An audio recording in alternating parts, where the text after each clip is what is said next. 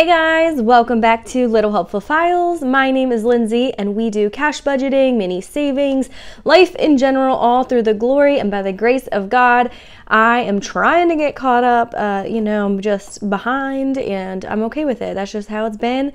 The Lord uh, has given me a lot of grace here and I continue to lean on Him through all of this because um, you know, the days can just get crazy. So in this video, I am packing a lot in. We're going to go through wrapping up my January budget, setting up February, and then I do have my sinking funds I need to update.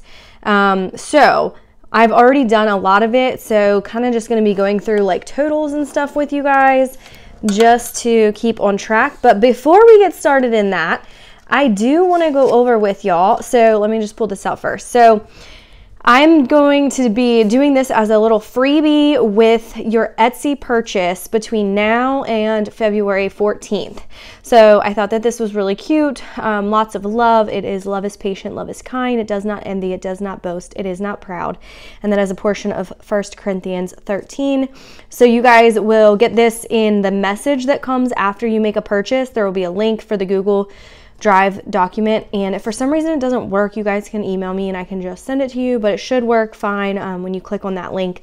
And I just thought that this would be cute for February going into the love. Um, and obviously, the most important love is the love that Jesus has for us, and that we need to always remember who we are in Him and what our worth is, you know, as we continue to surrender and to live our life according to his ways, um, which are so so far beyond what we could ever have planned or do. All right, so like I said, I'm going to be kind of going through this, trying to get a lot covered here. Um, I hope that this is not too confusing, but I kind of want to have the side by sides.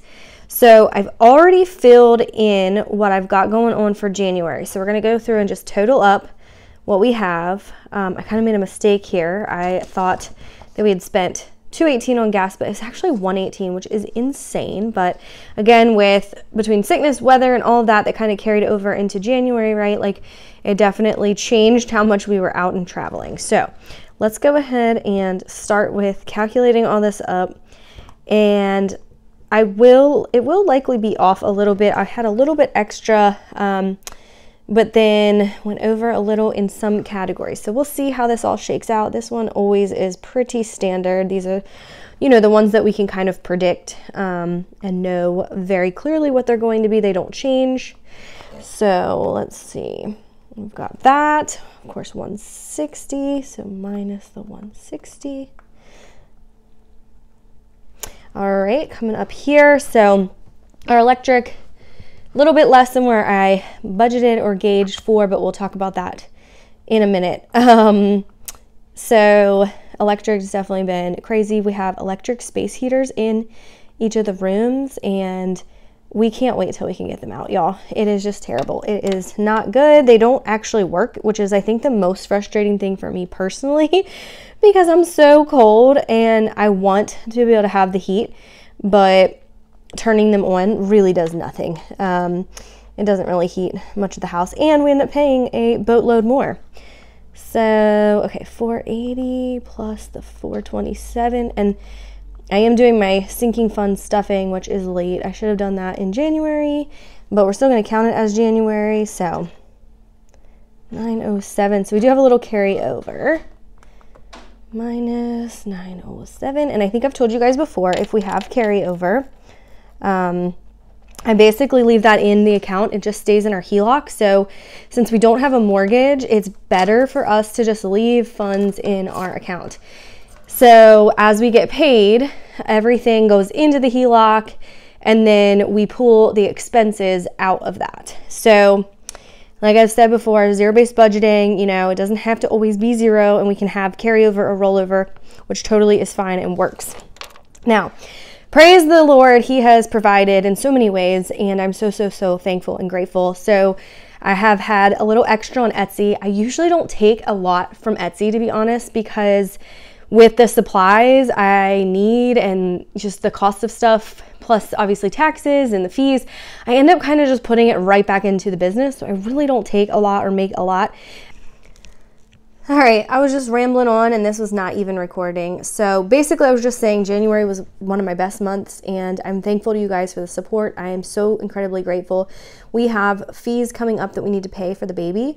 Um, and I am also very grateful for our family who has blessed us with some extra funds that we did not expect. So I did not include that in with income because it's going straight towards the baby fees that we have and that we need. So as you see here, the sinking fund, I'm actually not going to be doing for this month because I need to be putting the $400 towards the baby fee. And I think after this, we'll have, I think we have like 300 left that we need, if I'm not mistaken. So we're going to go through, kind of add all this up. Um, this standard, this literally, sometimes, I don't know if you guys see this where like your insurance will fluctuate by like a dollar or two. So anyway, that's what it is here. So the 710 will be the same as what we had with January. Um, so 3706 minus 710 is the 2996 and then minus 160. I went ahead and tried to fill some of this stuff out. That way, um, again, my video wasn't like super long. Whoops, I was supposed to put 160 there, but oh well. All right, so electric and then grocery and gas. So let's see, 2836 minus the 410 and then minus the 515 that we did for our variable envelopes and then minus the 700 that we'll do for that and minus 400. So it leaves us with 811, which I think I'm to do 700 for the groceries and honestly, I'm bumping that gas down again because we really haven't been using it. So that'll be 111. So let's see if this all shakes out. Um, sometimes I do that, you know, kind of working backwards and figuring out, especially when I see, oh my gosh, I just added that wrong. Especially when I see a category that we're like continuing to spend less. Um, I want to make those adjustments. Now, again, I could be totally wrong and I could end up spending more on gas this month, but I don't really foresee that. We don't really have any major plans to be going anywhere. So we have a lot, um, just kind of like local stuff planned and happening for the month. So, so one, one, so 1,100 and then, so that should equal, yeah. Well, I don't even need the calculator, but I still did it. so you've got remaining zero. So that totals are 3706 minus our 3706 to give us remaining. And again, this is just the way that we kind of budget. Actual is going to end up being different, but this allows us to give every single dollar a home and a place and a use and hopefully cut down on that, you know, additional uh, discretionary or extra spending that happens. That kind of wraps that up. So what I'm going to do now is switch gears. I do have something I want to read from the Bible because it is Thankful Thursday. So if you guys could again leave a comment of something you're thankful or grateful for, that would be amazing. I absolutely love to see and hear just the way that we can all praise and give glory and honor to the Lord. Again, no matter what we're facing, no matter what circumstances we're going through, we can always find something to praise the Lord for. Um, so I'm going to read that, then we'll switch gears. We'll do the sinking fund from January that I need to finish, and that'll kind of wrap up this video. I will then be doing a video on Instagram stuffing the variable envelopes for February. Um, and yeah, we'll just see how this kind of shakes out. Electric, crazy. Crazy, crazy, crazy. Uh, my husband already got the bill for it, so we know what it's going to be. And it just keeps going up. Like every month, I think it's gone up at least $50, if not $100. So we've been trying to cut back on that, but y'all, until we can like save up for the mini splits and just rip all those space heaters out, it's gonna be a little rough. All right, let's switch gears. All right, guys, so this is Psalm 111. And again, as we're in this just kind of thought process of the thankfulness and having gratitude that I want to draw us towards on Thursday, um, because Thankful Thursday just sounds good. We're going to read this psalm. So it says, Praise the Lord. I will give thanks to the Lord with all my heart, in the company of the upright and in the assembly. Great are the works of the Lord. They are studied by all who delight in them. Splendid and majestic is his work, and his righteousness endures forever. He has made his wonders to be remembered. The Lord is gracious and compassionate. He has given food to those who fear him. He will remember his covenant forever. He has made known to his people the power of his works in giving them heritage of the nations. The works of his hands are truth and justice. His precepts are sure. They are upheld forever and ever. They are performed in truth and in uprightness. He has set redemption in his people. He has ordained his covenant forever. Holy and awesome is his name, and the fear of the Lord is the beginning of wisdom. A good understanding have all those who do his commands. His praise endures forever. So I this part here where he's given food to those who fear him. Um, I've been reading in Second Kings, and it's just amazing to me. Uh, you know, throughout the Bible, but the Old Testament, where God will provide food for people in times where like you literally don't know like how that even could be possible. And the one I think it was Elijah who was um, being kind of called out into the desert, and God provided food from the ravens. Like the ravens brought him food, which is just wild to me, but also beautiful. Because um, as we see, you know, groceries getting expensive and things changing, I just want us to keep our eyes fixed and focused on like the fact that nothing is too hard for God. Um, you know, and He will continue to provide, but we must seek Him. We must surrender everything to Him. We must look to Him to guide us, to lead us, and to provide for us. And Lord, thank you, God. He has definitely been providing in ways that we could not imagine right now. Um, with all the expenses, like I said, coming up, and with the baby fees and all of that, I'm just blown away by his faithfulness and his provisions um, when we continue to trust in him. It's so easy, guys, to want to try to take matters into your own hands.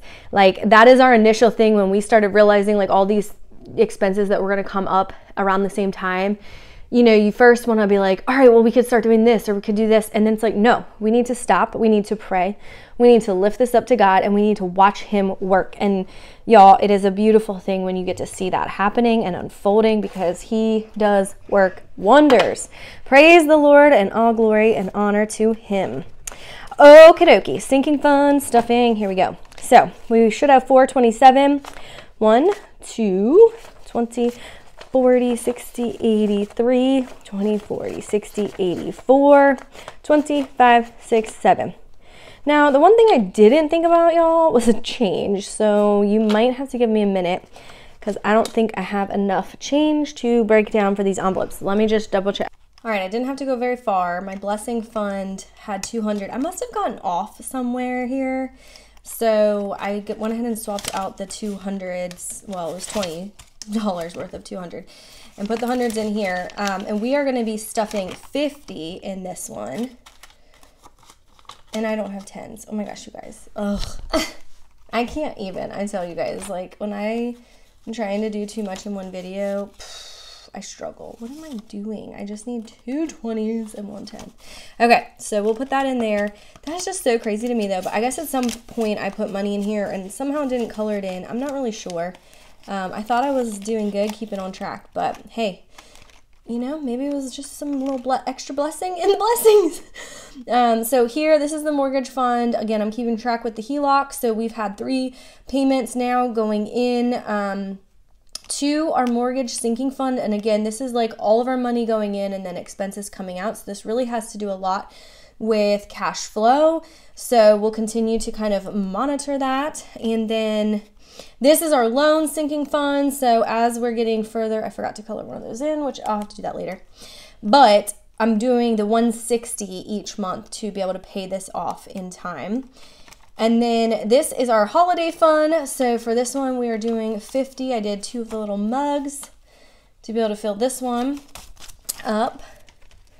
And let's see, make sure I have the right amount in this one because I obviously seem to like not be keeping track Again, uh, just too much, too all over the place, trying to juggle too many things. So 20, 40, 60, 81, 10, 20, 21, 22, 23, 24, and 25.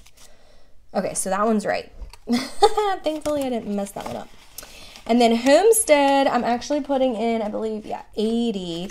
I'd like to be able to put in a little bit more for this one just because I have my homestead fund for the month to be able to pay for food, but then if there's other items that we need for the chickens and Mitten, our bunny, um, which I will show you a clip of them.